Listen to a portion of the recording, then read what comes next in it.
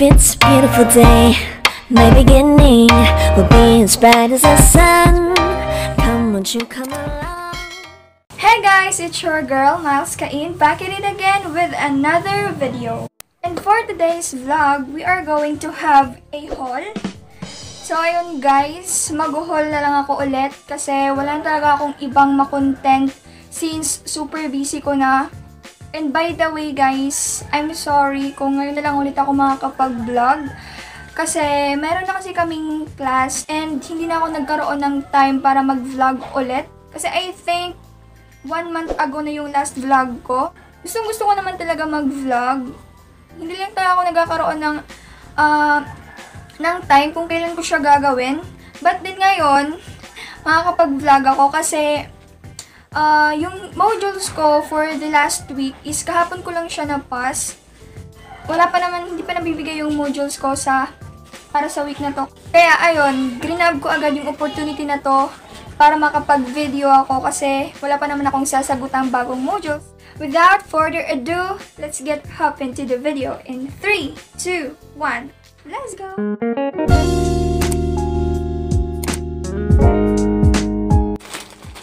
So, ito na guys, these are the items na i-haul ko. So, dalawa lang talaga siya. Knitted tops and then fabric fur. Ay, fabric fur. Fur fabric. Ewan, yun ata yung tawag dito. Actually, rin-research ko pa siya kanina and then yung na-research ko is faux fur fabric. So, ayun yung tawag dito. Ah, basta fur na lang. And knitted tops. And by the way guys, papakita ko sa inyo yung outfit ko. So, ayan. Char, naka-off shoulder pa si Inday, di ba? May pa-flower pa siya dito. And then, look at my shorts. So, So, ayan, nagustuhan ko dito yung details na, yung pa-vertical, vertical lines niya dito. And, by the way, guys, this is just a thrift clothes. And I bought this for 60 pesos. Nabili ko siya kay Ate Georgia. And kasi, nagustuhan ko yung short na to because nakita ko siya kay Ate Denise. Denise Aquino. Vlogger siya, guys. And, parang kapareho sila. Kaya, binili ko agad, di ba? Charot. So, guys, yung first kong ipapakita sa inyo is this fur fabric. Nabili ko sila sa Shopee and OMG guys. Sobrang mura lang talaga nila. Kasi usually, yung, yung mga nakikita kong fur fabric sa Shopee is 100 plus yung pinakamaliit na size nila. And then itong binili ko is yung nasa pinakamaliit na size na siya, which is sobrang mura niya lang because I bought this for 85 pesos only. So, ilalagay ko sa description box below yung link ng shop. And I got it in the peach and light gray colors. Pero, hindi talaga dapat peach yung bibilhin ko. Dapat light gray yon tsaka yung beige or yung light brown. Pero nagsisisi ako na peach talaga yung pinili ko. Dapat talaga yung beige na lang or di kaya yung light brown na lang talaga yon. But then, ewan, wala na akong magagawa kasi andito na sila. Kaya ayun. Una natin titignan is itong light gray colors. Like, isa-isa na lang yung bubuksan natin since pareho lang naman sila. And then, kasi yung reason ko kung kaya bumili ako ng mga fur fabric na to is because gagawa na ulit ako ng mga DIYs para sa room ko. Kaya abangan nyo yun kasi iba-vlog ko din yun. So, ito siya guys. So, ayan. Maganda siya. So, ayan siya guys. Ang ganda niya. Super, I loved it. So, yung titignan naman natin is the other color which is the peach. Pero parang peach. Peach. So, ito yung peach color, guys. So, ayan. Ayan siya. Ang ganda nila. Super. Naiinlove ako sa mga per fabric na to at kinikilig ako. Especially pag nai-imagine ko yung gagawin kong DIYs. Kinikilig talaga ako, guys. Ewan ko lang talaga kung sa imagination lang ba maganda yung gagawin ko. And by the way, guys, super useful and helpful pala ng mga per fabric na to kasi especially pag nag-online selling ka. Kasi pwede mo siyang magamit for background yung mga binibenta mo. So, ayun.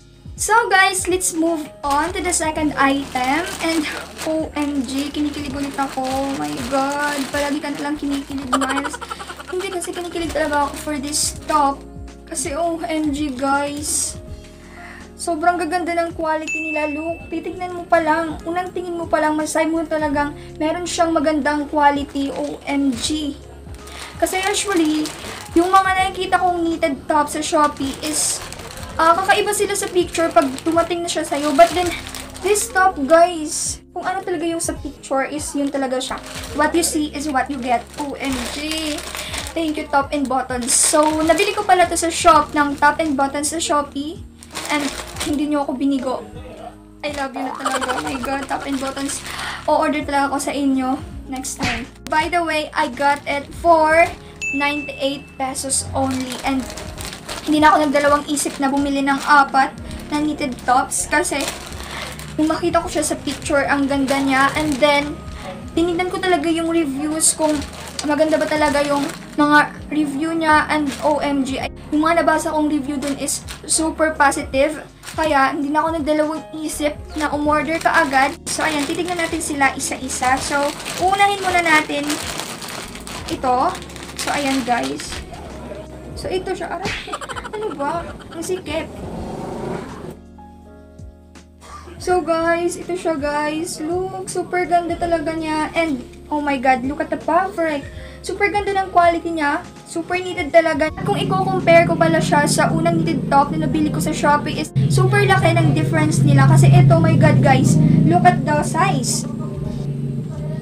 Masay mo talagang pan-teens siya kasi parang yung last kong nabili na knitted top sa Shopee is parang pang, pang 5 years old lang siya kasi ang liit niya talaga. And another thing na nagustuhan ko for this knitted top is yung paletos detail niya dito sa my neck na part. Kasi yung ibang knitted tops ko na ganito, wala siyang ah, detail na ganito sa, my neck part niya. Yung, su- yung plain lang talaga siya, but then ito ang ganda guys, super. So guys, the second color na ipapakita ko sa inyo is this color brown knitted top with uh, black and white stripe and then yung pa lettuce detail niya sa my neck is may block siyang ganyan. So ayan.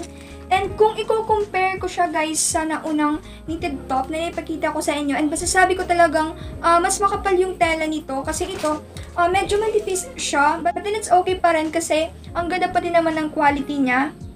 Yung pagkakaiba lang nila is ito, um, ah, manipis yung tela niya but then super soft niya and nasi-stretch siya. And for the third knitted top is this color lilac. So, ayan siya guys. Super nice ng color niya sa personal. I don't know kung bakit ganun yung color niya sa camera. But din kung sa personal, super lilac talaga yung color niya. So, ayan. Pag dito ko siya ilalagay. So, makikita talaga, talaga yung pagka-lilac niya. Hindi siya purple. Um, lilac siya guys. And I love it kasi ang ganda talaga ng quality nila. So, ayan. Makikita mo talagang heated top siya. And this details, mga details niyang ganito. And guys, we're on the last knitted top na and this is my favorite among the four knitted tops that I bought. So, it is in the color green, matcha green. So, ayan siya guys. Ay, matcha ba? Or avocado? Avocado green pala, hindi matcha green. Avocado green. So, ayan guys. Ayan siya. Ito yung sa may neck part niya. And then dito, and ito yung sa may bottom niya. So, ayan. I love it. So, ito yung favorite ko. Kasi, right now, na, sobrang nahihilig ako sa mga color green. Like, avocado green, apple green, mint green. Basta, any, anything, basta green. Gustong gusto ko talaga. Super. 도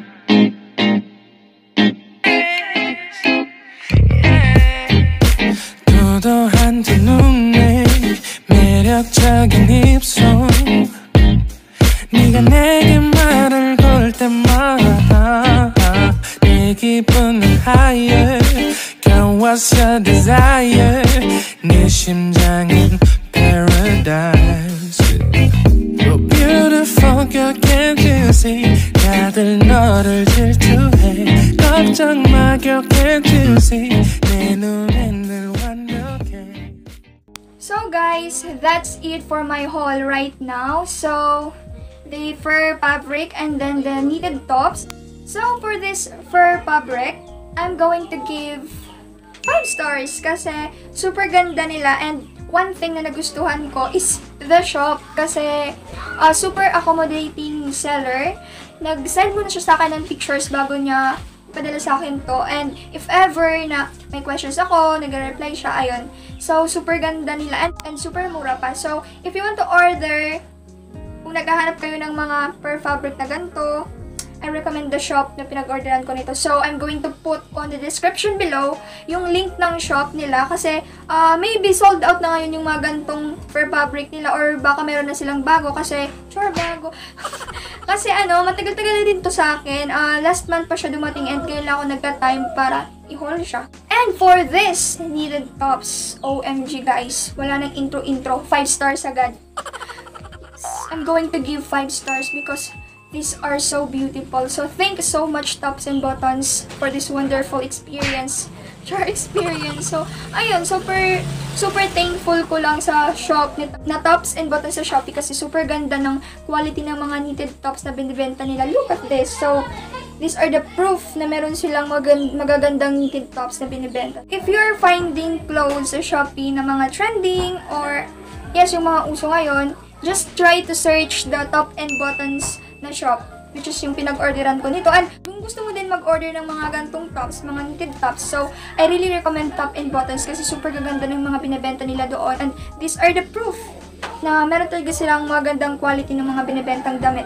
So, I'm going to put on the description box below the link of the shop para ma-visit nyo yun. And, ah, kasi at try ko lang ilagay din yung link ng mga items na to kasi maybe sold out na sila ngayon. Kaya I'm going to put na lang the link of the shop kasi maybe meron na silang mga bagong uh, knitted tops, mga bagong styles. So guys, that's it for our welcome back vlog. So tatawagin ko siyang welcome back vlog kasi matagal-tagal na rin ako hindi nakakapag-upload ng new video. Ngayon na lang din yun ulit. Hindi ko nga din alam kung kailan ulit ako makakapag-vlog kasi super busy talaga guys kasi nag-start na yung class namin and I have a lot of modules to answer. But then, if I have time na medyo hindi ako busy, magbablog na lang ako, promise. Yes, that's it for our vlog right now. And I hope you enjoyed watching this video. Kasi, OMG, wala na akong iba pang masasabi for my purchase kasi I'm so really happy with it. Kasi kahit anong pilit ko pang magtipid, wala talaga. Nabubudol pa rin talaga ako ni Shopee. Na akong guys. Promise, magtitipid na talaga ako isang order na lang. And by the way, guys, huwag niyo sanang kakalimutan na meron tayong pag-giveaways. Pag na-reach natin yung 1,000 subscribers and then yung 4,000 watch time hours. Kaya, kung ako sa'yo, mag-subscribe ka na sa channel ko and i-click mo yung notification bell para palagi kang updated sa mga susunod kong video. So guys, that's it. See you on my next one. Bye-bye!